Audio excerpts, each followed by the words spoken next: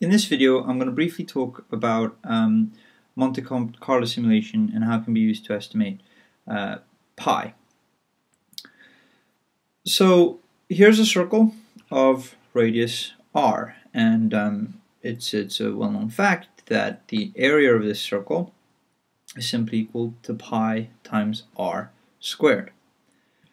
So if we take this same circle and put it in a square, and we inscribe it in the square so that the square has side length 2r. Then the area of the circle is still pi r squared, and the area of the square is 4r squared. Um, so 2r times 2r.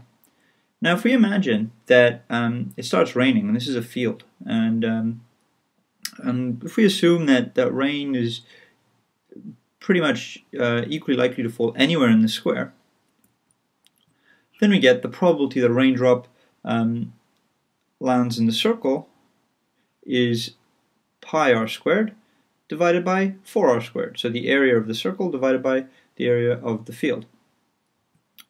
And we can just cancel out the r squareds and we get that 4 times the probability of raindrop landing in the circle is equal to pi.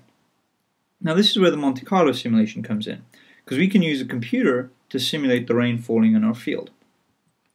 So we start off by initializing C and S, and C is just going to be the number of raindrops that land in um, the circle, and um, S is going to be the number of raindrops that land in the square, so all the raindrops. Um, and then what we do is we get the computer to select uh, two random numbers, so x and y, in other words, the location of the point in our square.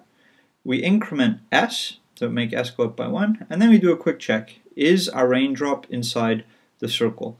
So um, this is the equation of a circle centered at 0 of radius r, and so we can just use that um, to check that we're in the circle. If we're in the circle, then we increment c. Otherwise, we just go and we keep on selecting a bunch of raindrops. And once we have enough raindrops, we just have a little check on s, we'll get that pi is approximately 4 times c over s.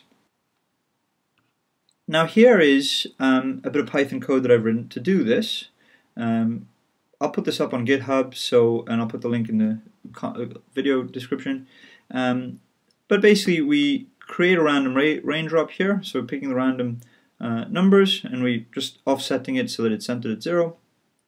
Um, this is a little function to check that we are indeed in uh, a raindrop is in the field. This function here just, just is to, to draw the nice pictures.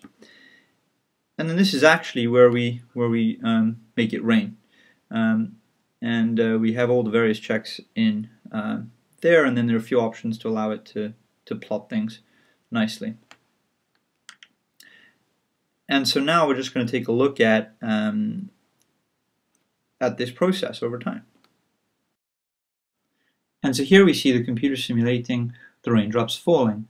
So um, I've got the computer to output uh, the drops that fall in the circle in blue and the drops that uh, fall outside of the circle in black. And we see that pi is, uh, is getting um, closer and closer. The estimate of pi is getting closer and closer.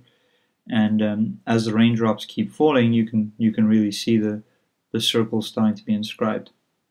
And so the estimate of pi in the top right there is just at every point, just taking that four times the ratio of the number of drops in the circle over the total number of drops.